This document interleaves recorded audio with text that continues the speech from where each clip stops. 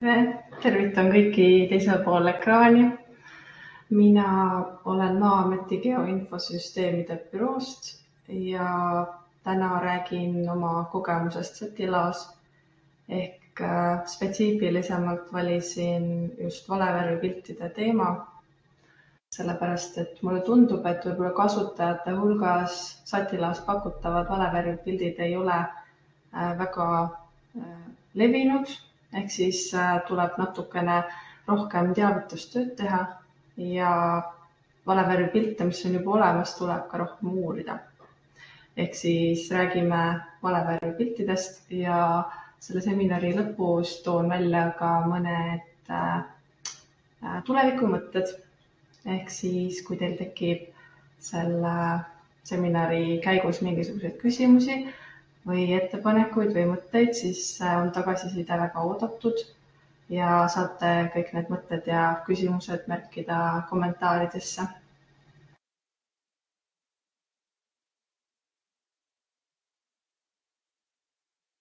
natuke konteksti siis ka. satiladu on kättesaadav aadressilt satiladu.maaamet.ee ja see on veebirakendus, mis iga päev kuvab Eesti ala kohta satelliidipilte, mis pärinevad Euroopa Kosmoseagentuurilt.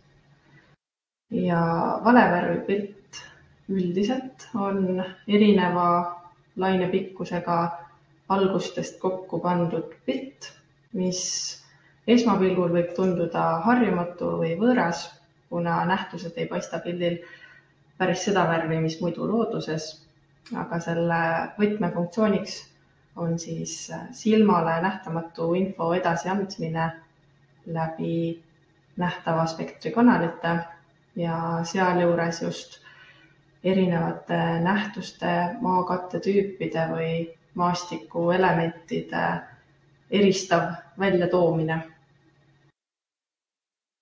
Sati laos on täna kuvatud Sentinel kahe andmed ja Sentinel kaks kogub infot nähtava spektri osas, lähiinfra ja lühilainelise infrapuna ulatuses.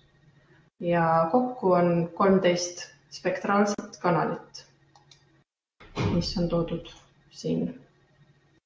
ja nendest kättesaadavad ja satilaos esindatud on kuus.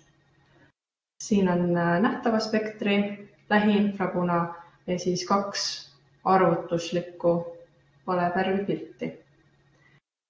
ja neid on võimalik rakendada Satilao kujundusmoodulis, mis võimaldab kasutajal kokku panna valevärvipildi soovitud valguste kombinatsioonidest.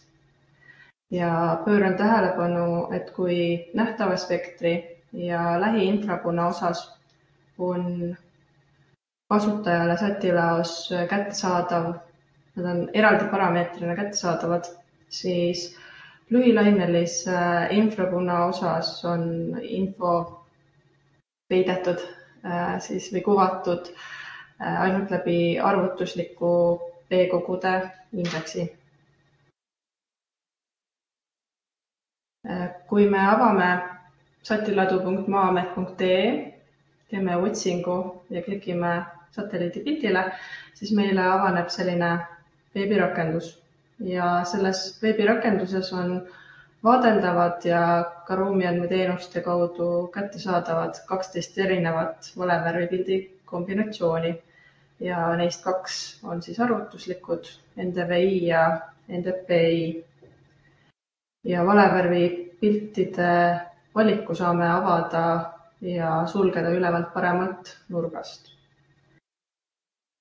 ja esmapilgul võivad valevärvipiltide nimed, mis on siin toodud selliste lühendite kujul, üsna krüptiliselt näida. ja vaatame siis, millistest äh, komponentidest need koosnevad. ja siin olen välja toonud äh, sellised äh, inimkeelsed vasted olemasolevatele valevärvipiltidele ja kui te nendele siin pilgu peale heidate, siis näete, et siin on palju erinevaid võimalikke rakendusi. mõnedel juhtudel võib rakendusi valevärvipiltidel olla mitu aga siin on toodud siis nii-öelda kandvavad rullid. ja ühtlasi Eestis on neli aastaaega ja see tähendab, et olud sotipildil võivad sellest tulenevalt väga muutlikud olla ja nii on ka valevärvipiltide loomisel lähtutud kindlast aastaajast, mil vastava valevärvipildi rakendamine on mõistlikum. ja olen siin siis päikese ja lumehelbe ikooniga välja toonud, milliste valevärvipiltide puhul on Äh, lähtutud kas suvistest või talvistest oludest. see küll ei tähenda, et oleks välistatud vastava valevärvipildi kasutamine muul aastaajal. Mõni sobib kasutamiseks nii suvel kui talvel. et selline valevärvipilt näiteks on NDN, mis äh, selle loomisel oli silmas peetud suvist aega, kus ta toob hästi välja veekogude piirid aga mis sobib talviti ka näiteks metsamassiivide sidususe väljatoomiseks. ehk siin on toodud selline äh, nii-öelda esmaotstarbe rollid. ja täna on meil luubi all järgmised valevärvipildid ehk siis äh, selle sektsiooni ülemine osa. ja alustan arvutuslike indekskihtidega kuna paljud valevärvipildid satilaost kasutavad neid mõnes oma nähtava spektri kanalis. NDVI on normeeritud taimkatteindeks või siis äh, fotosünteesiva rohelisuse indeks. Ja selles valemis kasutatakse kahte spektri osa, lähiinfrapuna ja punane. ja kui lähiinfrapuna ja punase spektri osas erinevus suureneb, siis suureneb ka NDVI väärtus. kui NDVI on positiivne, eh, see tähendab, et taimed peegeldavad rohkem lähiinfrapuna kui punast, siis see üldjuhul viitab rohelisele heas seisundis taimkattele. ja kui NDVI on madal, siis eh, see tähendab, et taimed peegeldavad oluliselt rohkem punast spektri osa siis see üldjuhul viitab äh, vähesele hõredale või stressis taimkattele, selle puudumisele või ka näiteks äh, taimekahjustustele. Et äh, nendel joonist või piltidel, mis ma siin olen välja toonud, siis see roheline märgibki sellist rohelisust ja vastavalt kollane ja selline punane selle vähesust NDVI jääb vahemikku miinus ühest üheni ja võib öelda, et igale maakattetüübile ei ole selget piiri, aga võib teha teatud mõttes üldistusi. Näiteks äh, väga negatiivsete väärtuste korral on tõenäoline, et tegemist on veega.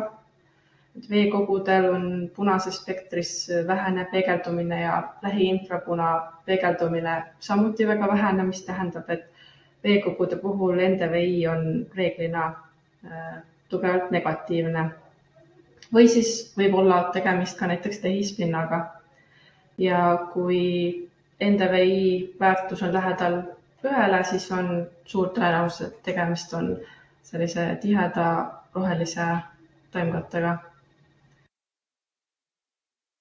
ja olen slaidil välja toonud ühe ohukohana ka pilved mis võivad üldpilti oluliselt kallutada.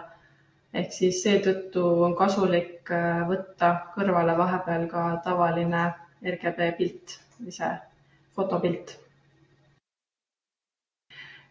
Ja kui NDVI leiab äh, väga tüüpiliselt kasutust just põllumajanduses, kus saab jälgida põllukultuuri üldseisundit ja viljaühtlust, siis näiteks äh, saan välja tuua NDVI rakendamise ka linnaplaneerimise äh, valdkonnas, kus siis saab äh, aimu linnapildi rohelisuse muutustest ja vaadata linnasiseseid rohealasid.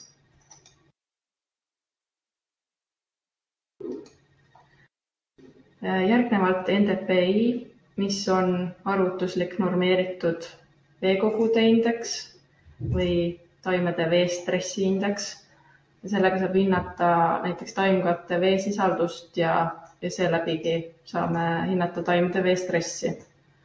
Ja see indeks on eriti kasulik veekogude ja soode taimestiku eristamiseks tavalisest taimestikust. et kui NDVI on väga tundlik klorofülli osas, siis äh, NDPI on tundlik veesisalduse osas ehk siis saame hästi välja tuua liigniiske või veega küllastunud maa. ja selle lühilainelise infrapuna kasutamine NDPI valemis tuleneb sellest, et vesi neelab vähe lühilainelist infrapuna kiirgust ja sellest suurema osa peegeldab tagasi mis muudab selle spektri osa sobivaks, et eristada vett muust maakattest. Ja selle SFIR äh, äh, ütleme, bänd kaksteist näitaja on oluline, kuna see eristab veekogusid maakonnast, maapinnast, sealhulgas äh, taimkattega maapinnast, mida kajastab siis see roheline kanal. ehk siis mida suurem on SVIR näitaja, seda suurem on NDPI näitaja ja see võib viidata suuremale veesisaldusele taimedes või maapinnas. ja mõned võimalikud rakendused ongi seega näiteks üleujutuste jälgimine, põllukultuuride veestressi hindamine, aga ka näiteks kuivuse või põua jälgimine, sellest tulenevalt ka tuleohu hindamine ja järgmisena on meil valevärvipilt, mis koosneb sellistest valgustest nagu lähiinfrapuna, punane ja roheline. ja see ei ole nii-öelda normeeritud kiht ja seda ei saa samamoodi väljendada kui eelmisi mingisuguse konkreetse gradiendi järgi, siis äh, olen sellistele koostanud äh, esmased legendid nende paremaks mõistmiseks ja olen aru saanud, et äh, Satilaos on kasutajad seda juba oodanud ja seetõttu tegin sellega algust. NRG puhul võime valevärvipilti nimetada ka talviseks metsanduslikuks valevärvipildiks, kuna okaspuud tulevad pildil hästi esile sellise punase, kirsipunase tooniga ja kuna tegemist on talvise metsandusliku valeväripildiga, siis äh, uurisin äh, nii lumist kui ka lumevaba äh, seisu. ja peale metsade nähtused ka näiteks põllumassiivide osas on võimalik teha teatavaid üldistusi taimkattes, et isegi kui ala katab selline õrn Äh, lumekihike paistis selline roosakas äh, õhetus välja ehk siis selline talvine taimkate.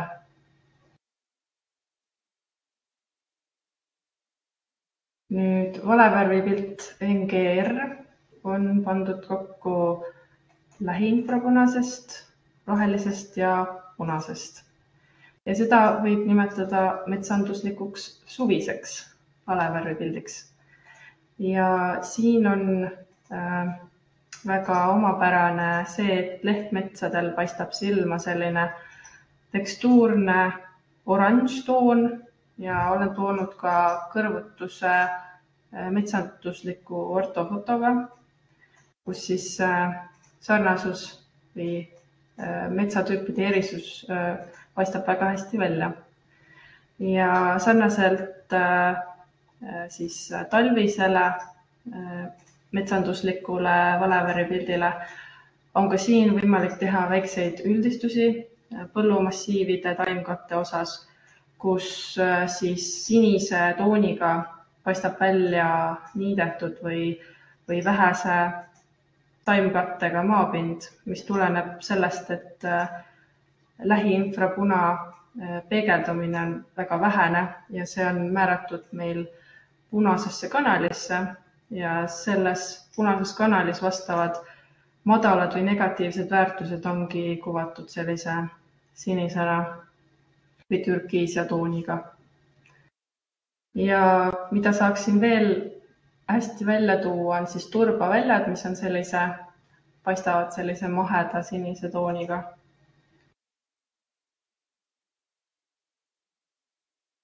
nüüd äh, läheb natuke kirjumaks pilt. Äh, see BNB valevärvi pilt on üks värvilisemaid satilaos, aga mitte kõige värvilisem. see on pandud kokku NDPI, äh, lähiinfrapuna ja sinisest värvikanalist ja seda võib üldistavalt nimetada maakattetüüpide valevärvipildiks. siin eristuvad hästi või paistavad esile tehispinnad, mis on sellised äh, sinakad, lillakad, tumedad toonid ja näiteks linnadel joonistuvad hästi erinevad äh, tehisstruktuurid. ja metsade osas saab öelda, et mingisugune eristus on jälgitav. Äh, kui okaspuu paistab siis sellise tumedama rohelisega ja lehtpuu heledam roheline siis äh, võib-olla see erisus ei ole nii hästi jälgitav kui metsanduslikel valeväripiltidel. mis aga näiteks siin väga hästi välja paistab, on selle erkrohelisega selline roheline fotosünteesiv põllumajanduslik maa. et äh, ja see tuleneb ka sellest, et äh, siin rohelises kanalis on meil lähiinfrapunane, millel on kõrged väärtused ja kuvataksegi nii erksat rohelist. ja, ja vastavalt siis, äh, kui sellele rohelise kanali kõrged väärtused on sellised erksad rohelised, siis äh, sellele vastavad madalad või negatiivsed väärtused on vastavalt sellised roosad või lillakad. ja nii tulevadki hästi välja näiteks niidetud või, või küntud Äh, alad, sellised mullased. ja ma olen siin nendes legendides üldiselt kasutanud põllumajandusmaa osas terminit põllumassiiv, aga kindlasti äh, see on see koht, kus terminite osas ma äh, suhtlen PRIA-ga ja, ja teen koostööd. ja muidugi unustasin mainida, et ka sellised mäetööstusmaad või karjäärid paistavad siin hästi välja. ja valevärvipilt NGP, see on samuti väga kirgas. See on pandud kokku lähiinfrapunast, rohelisest ja NDPI indekskihi kombinatsioonist. ja seda võib samuti nimetada maakattetüüpide valevärvikihiks ja siin võib-olla tehispinnad väga hästi ei eristu, need on sellise erksa rohelise tooniga. küll aga eristuvad hästi näiteks äh, märgalad, turbaalad sellistes mahedates sinistes toonides. ja ühtlasi saab öelda, et on eristatavad ka leht- ja okaspuud ja olen siin samuti toonud välja ühe kõrvutuse metsandusliku ortofotoga. ja põllumajandusmaade osas saab täheldada sellist üldistust rohelise ja kõrgema taimkatte ja niidetud küntud massiivide vahel, kus siis äh, sellise maheda oranžika tooniga on toodud sellised äh, maad, kus on äh, roheline või kõrgem taimestik ja niidetud küntud pinnaga vastavalt sellised sinised rohelised toonid.